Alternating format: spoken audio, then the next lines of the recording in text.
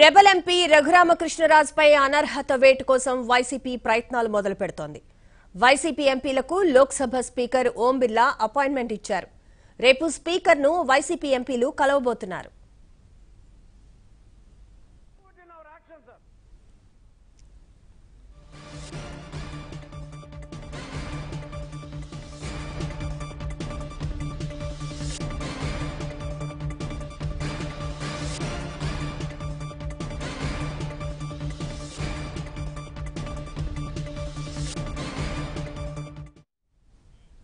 రఘురామకృష్ణరాజుపై అనర్హత వేటు వేయాలంటూ స్పీకర్కు వైసీపీ ఎంపీలు లేఖ ఇవ్వనున్నారు. ఇందుకోసం విజయవాడ నుంచి ప్రత్యేక విమానంలో వైసీపీ ఎంపీలు లాయర్లు రానున్నారు.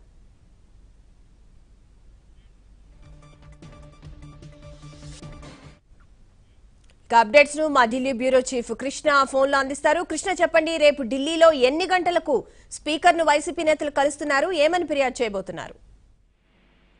లోక్సభ స్పీకర్ ఓం బిర్లాను రేపు మధ్యాహ్నం తర్వాత వైసీపీ ఎంపీలు కలబోతున్నారు వైసీపీ రెబల్ ఎమ్మెల్యే రఘురామకృష్ణరాజు పైన వేటు వేయాలని ఆయన- వారి వారంతా విజ్ఞప్తి చేయబోతున్నారు. వైసీపీకి చెందినటువంటి ఐదారుగురు ఎంపీలు రేపు ప్రత్యేక విమానంలో ఢిల్లీకి బయలుదేరి వస్తున్నారు. వాళ్ళు మధ్యాహ్నం తర్వాత ఓపీ ఇక్కడ స్పీకర్ ఓం బిర్లాను కలవబోతున్నారు. ఇప్పటికే ఒకరిద్దరు ఎంపీలు ఆయన్ను ప్రత్యేకంగా కలిసి గతంలో ఏ విధంగా తాము ఈ వైసీపీ ఎంపీకి సంబంధించినటువంటి వ్యవహారాల్లో ముందుకెళ్ళాలనే విషయాలపై ఆరా కూడా తీశారు. స్పీకర్ కలిసిన నేపథ్యంలో మీరు కూడా మీ తరపు నుంచి ఒక మెమోరాండం ఇవ్వండి. ఆ తర్వాత మేము తీసుకోవాల్సిన చర్యలు మేము తీసుకుంటామంటూ స్పీకర్ సోమ్ బిర్లా చెప్పినట్టుగా తెలుస్తుంది.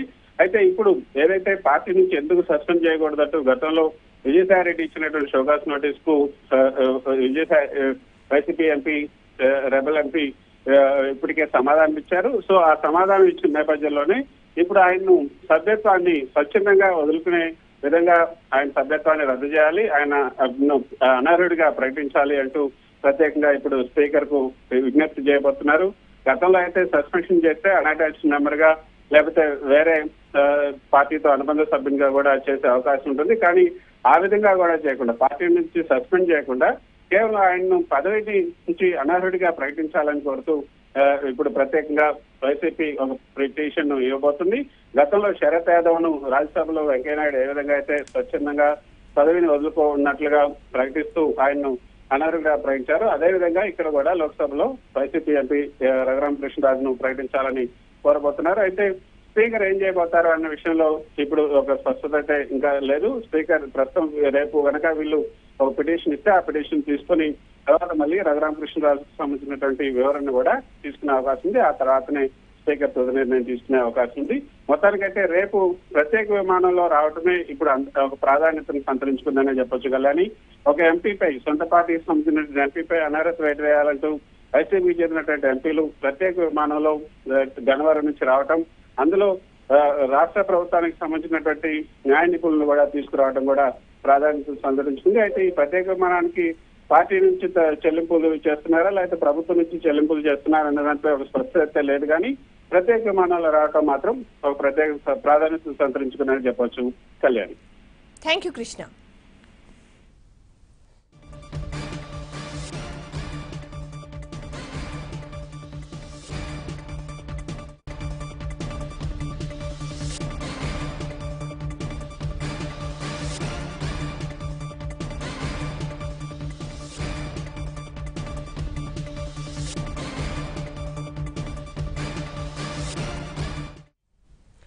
రఘురామకృష్ణరాజుపై అనర్హత వేటు కోసం వైసీపీ ప్రయత్నాలు మొదలు పెడుతోంది వైసీపీ ఎంపీలకు లోక్సభ స్పీకర్ ఓం బిర్లా అపాయింట్మెంట్ ఇచ్చారు. రేపు స్పీకర్ను వైసీపీ ఎంపీలు కలవబోతున్నారు.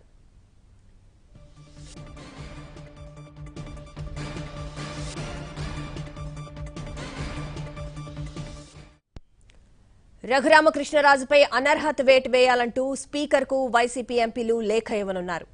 ఇందుకోసం విజయవాడ నుంచి ప్రత్యేక విమానంలో వైసీపీ ఎంపీలు లాయర్లు రానున్నారు.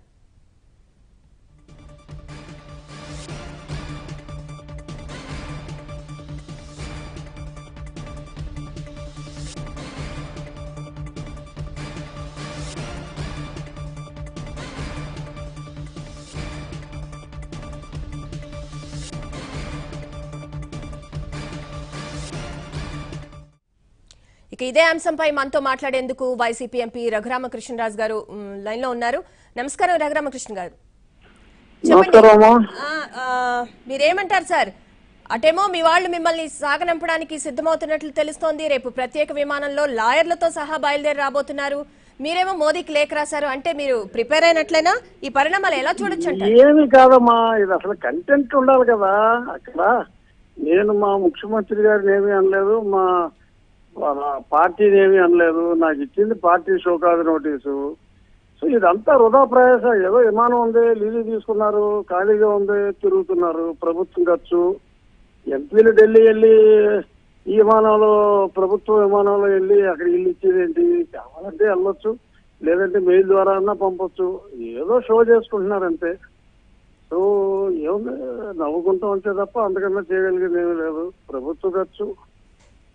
అలా ప్రభుత్వం ఖర్చుగా వెళ్ళిపోతుంది ఇదంతా. పార్టీ ఎక్స్పెండిచర్ అయినా కూడా ప్రభుత్వం ఖర్చుగా వెళ్ళిపోతుంది. చూడాలి మరి ఇది పార్టీ ఖర్చులో రాస్తారు ప్రభుత్వం ఖర్చులో వేస్తారు ప్రత్యేక విమానం ఖర్చులని బట్ ఇట్స్ వేస్ట్ ఎక్సర్సైజ్ ఎందుకంటే కంటెంట్ లేదు అక్కడ. నేను మా ముఖ్యమంత్రి గారిని గౌరవించుకుంటున్నాను. మా పార్టీని పల్లెత్తు మాట అనలేదు. దేవుడు దేవుడు భూములు అమ్ముకుందాం అనుకుంటున్నారు. ఇవాళ చిన్న భూమితో స్టార్ట్ అవుతుంది. రేపు పొద్దున బొంబాయిలో ఢిల్లీలో అన్ని కూడా అమ్మేసి తినేస్తారని చెప్పి నేను ఇది మంచి పద్ధతి కాదు అని చెప్పి మా ముఖ్యమంత్రి గారికి తెలియజేయడం జరిగింది. ఆయన పెద్ద మనసుతో ఆపడం జరిగింది. అలాగే ఇసుక గురించి ఒకటి రెండు విషయాలు మంత్రులు మాట్లాడిన తర్వాత చెప్పా. మరి ఎందుకని మరి దీనికి ఇంత మరి నాకు అర్థం కాలేదు. పార్టీకి ఈ దేవుడి భూముల్లో లాలూచీకి అలాగే ఇసుక అమ్ముకుంటానికి పార్టీకి ఎందుకంటే నేను పార్టీలో పెద్దలు దేవుడి భూములు అమ్ముకుంటున్నారని చెప్పలేదు. పార్టీలో పెద్దలు ఇసుక ముఖం తినేస్తున్నారని చెప్పలేదు. పార్టీలో పెద్దలు ఇళ్ళ స్థలాలు గోలుమాలు చేస్తున్నారని నేను చెప్పలా. నేను మా ముఖ్యమంత్రి గారి దృష్టికి తీసుకెళ్ళాను మరి. పార్టీకి ఎందుకు కోపం వచ్చిందో మరి పార్టీ ఎందుకు షోకాజ్ నోటీస్ ఇచ్చిందో నేను చెప్పిన కుంభకోణాలకి పార్టీకి ఏమి సంబంధం నాకు అర్థం కావట్లేదు అసలు. And it be waste exercise. విమానం ఖర్చులు కూడా దండగా అకార్డింగ్ టు మీ నన్ను సంజాషి అడుగుతారు. నేను సంజాషి క్లియర్ చేస్తాను. మా ముఖ్యమంత్రి గారికి ఏదైతే లేఖలో తెలిపానో ఆ సంజాషి ఇస్తాను. అన్ని ఎవిడెన్స్లు ఉన్నాయి నా దగ్గర. ప్రజాస్వామ్యంలో ప్రజాప్రతినిధి ప్రజల కష్టాలను కూడా ఆ ముఖ్యమంత్రి గారికి తెలియజేయకూడదు అనే ఒక వింత వితండ వాదం బహుశా భారతదేశంలో ఇదే ఫస్ట్ టైం చూద్దాం మరి. ఆ ప్రజాస్వామ్యంలో ప్రజానాయకుడు ఎన్నుకోబడిన వాడు ప్రజల సమస్యల్ని పట్టించుకుంటానికే వీల్లేదు. సమస్యలన్నీ ఒకే ఒక్కరు చూసుకుంటాడు మిగిలిన వాళ్ళందరూ డమ్మీలు బొమ్మలు అంటున్నారేమో మరి నాకైతే అర్థం కావట్లా. బట్ ఇదైతే మటుకు ఆ, జరిగేది ఏమీ లేదమ్మా. అది ఏదో నాకు ఎక్స్ప్లెనేషన్ ఇస్తారు నేను ఎక్స్ప్లెనేషన్ ఇస్తాను అక్కడ కంటెంట్ లేదు. ఎవరో పాపం పెద్ద వాళ్ళందరూ కూడా చెప్పారంట మా ముఖ్యమంత్రి గారికి బట్ ఎవరో ఒక ఆయన నిన్న మొన్న కూడా ఆ పేరు కూడా చెప్పారు కదా ఆయన అష్యూరెన్స్ ఇచ్చాయంట. వల్లభనేని బాలశౌరి గారి ఉద్బోధతో ఇదంతా జరిగిందని నా ఇన్ఫర్మేషన్ చూద్దాం వల్లభనేని బాలశౌరి ఎంతవరకు సక్సెస్ అవుతాడో. మరి ఇది ఫెయిల్ అయిన తర్వాత ఆయన పరిస్థితి ఏంటో కూడా చూద్దాం. సార్ అయితే మొత్తం అయితే ఇది. చెప్పండి సార్ ఇది ప్రభుత్వ డబ్బు వృధా దీనికోసం ప్రత్యేక విమానం వీగిపోయే this disqualification petition will be disqualified very soon it's futile exercise waste of public money దీనికోసం పార్టీ చర్యకి పబ్లిక్ మనీ వాడుతూ అనేది ఇంకా దురదృష్టం. ఇప్పుడు ఎవరో అక్కడ ఉన్న ప్రజల మీదే పడుతుంది ఈ భారం అంతా కూడా. ఎందుకంటే విమానం ఆ విమానం ఢిల్లీ వెళ్ళి రావాలంటే కనీసం పదమూడు పద్నాలుగు లక్షలు అవుతుంది. మరి అదంతా ప్రభుత్వ ఖర్చే ప్రజలే భరించాలి. మళ్ళీ నన్నేమి అక్కడ డిస్క్వాలిఫై చేయలేరు కాబట్టి మళ్ళీ నన్ను ఈ పార్టీ భరించాలి ఈ భారం ప్రజలు భరించాలి. అయితే సార్ మొత్తం మీద చూసుకుంటే మీ మీద వేటికే వైసీపీ సిద్ధమైనట్లు తెలుస్తోంది? మీ వర్తమానం ఫలించినట్టే అంటారా అసలు? ఫలించలేదంటారా? అనేగా మరి. కాకపోతే ఇప్పుడు ఒక క్లారిటీ ఏమొచ్చిందంటే ఎన్నాళ్ళు మా ముఖ్యమంత్రి గారికి తెలియకుండా జరిగిందేమో అని అనుకున్నా. ఇప్పుడు ఇంత విమానం విమానం అన్ని అరేంజ్ చేశారంటే బహుశా మరి మా ముఖ్యమంత్రి గారి కనుసన్నల్లోనే ఇదంతా జరుగుతుందని మరి నాకైతే ఇప్పుడే స్పష్టమైంది ప్రజలకు ఎప్పుడో స్పష్టమైందేమో కానీ నాకైతే ఇప్పుడు స్పష్టమైంది. సార్ న్యాయ నిపుణులను కూడా బట్ అయినా బట్ అయినా అయినా ఈ ఎలాగో ఈ ప్రయత్నం ఇది ఎలాగో నేను మొన్ననే కూడా ఏదో ఛానల్లో చెప్పడం జరిగింది. అగ్ని పునీతనే వస్తాను. ఇదేమి ఇదేమి చల్లవు. చల్ల చల్ల చల్లదని స్పీకర్ గారు చెప్పిన తర్వాత ఇలా డిస్క్వాలిఫికేషన్ పిటిషన్ డిస్క్వాలిఫై అయిన తర్వాత అయినా మరి ముఖ్యమంత్రి గారు టైం ఇస్తారేమో చూద్దాం. అయితే మీ నెక్స్ట్ స్టెప్ ఏంటి సార్ నెక్స్ట్ నెక్స్ట్ స్టెప్ ఏముందమ్మా? నెక్స్ట్ స్టెప్ స్పీకర్ గారు నన్ను అడుగుతారు. ఇదిగో ఇలాగా వీళ్ళందరూ ప్రత్యేక విమానాలు వచ్చారని చెప్పకపోవచ్చు కానీ ఇలా ఇలా వచ్చారు ఇది ఇచ్చారు. దీని మీద is it true what is your explanation అంటారు. తర్వాత ఒక పర్సనల్ హీరింగ్ అనేది ఉంటుంది. ఆ, ఒక కమిటీ ఉంటుంది బహుశా స్పీకర్ గారు ఉంటారు. వాళ్ళకి నేను I will have to explain very simple నేను తిరుపతి స్థలాలు అమ్మేసుకుందాం అనుకుంటున్నారు. అది కాదన్నాను. ఈ ఆర్టికల్ త్రీ ఫిఫ్టీ ఏకి వ్యతిరేకంగా వీళ్ళు వెళ్దాం అనుకున్నారు. నేను జస్ట్ పార్లమెంట్లో మీ అందరి సాక్షిగా పార్లమెంట్ సాక్షిగా మెన్షన్ చేశాను. ఇసుక మాయమైపోతుందని మంత్రి గారు అన్నారు. నేను కూడా అదే అన్నాను. ఇళ్ళ స్థలాల్లో డబ్బులు కొట్టేస్తున్నారని ఇళ్ళ మంత్రి గారు అన్నారు. నేను అదే అన్నాను. ఇంతకు మించి నేను అన్నదేమీ లేదు. ఎవరో నా మీద ఎవరో పెద్ద రెడ్డి గారు నా గురించి ఇష్టం వచ్చినట్టు రాస్తే వెంకటరెడ్డి అని అవాకులు చవాకులు పెడితే అది నేను మా స్పీకర్ గారికి కంప్లైంట్ ఇచ్చాను. నా ఏంటది నా గడ్డి బొమ్మలన్నీ తగలేసి నన్ను కూడా తగలేస్తా ఉంటే ఇక్కడ పోలీసులు సాక్షిగా జరిగింది కాబట్టి నేను నాకు ప్రాణానికి రక్షణ కల్పించండి నేను అక్కడ అడిగాను. ఇందులో ఏది ఏది ఏది దేనికి డిస్క్వాలిఫికేషన్ ఎలిజిబిలిటీ లేదమ్మా. అసలు ప్రజలకు మేలు చేద్దామని ప్రజల కష్టాలు చెప్తేనే డిస్క్వాలిఫై అయితే అసలు లోక్సభలో ఎవడో ఉండడు. ఒక్క మనిషి కూడా ఉండడు. ఎందుకంటే if I fail to perform my duty in bringing down the problems of the public and if the chief minister is upset for that or if the sorry not chief minister the party president is is upset. If a member who got elected from that party, if he is working for the interest, unless it is affecting them badly, then I Unless it is affecting them badly. నేను ప్రజల తరపున ప్రజలు నాకు ఓటేశారు. సరే జగన్ గారు బొమ్మ చూసి ఓటేశారా నా బొమ్మ చూసి ఓటేశారా అనేది సెకండరీ ప్రజలే ఓటేశారు. ఆ ప్రజల సమస్యల్ని పరిష్కరించడం అనేది నా బాధ్యత. నేను ప్రభుత్వానికి మా మంత్రులు చెప్పిన తర్వాత ఒక సూచన చేశా. డైరెక్ట్గా నేను అన్నది ఆలయ భూములు అమ్ముకోవద్దు ఇవాళ చిన్న చిన్న సైట్లను మొదలు పెడతారు రేపు బొంబాయి ఢిల్లీలో కూడా అమ్మేసుకుంటారు. ఇటువంటిది మంచిది కాదు.